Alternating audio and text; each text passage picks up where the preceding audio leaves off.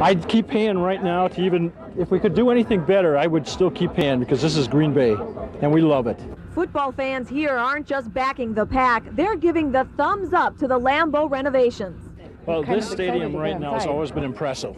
But right now, I don't think anything is going to top this. The first thing fans notice when they come in is a wall of glass to the Titletown atrium. It's 84 feet tall and 196 feet wide.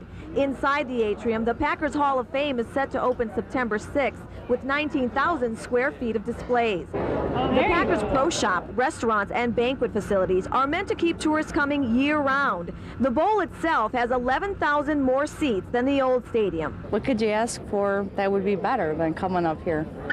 Seriously.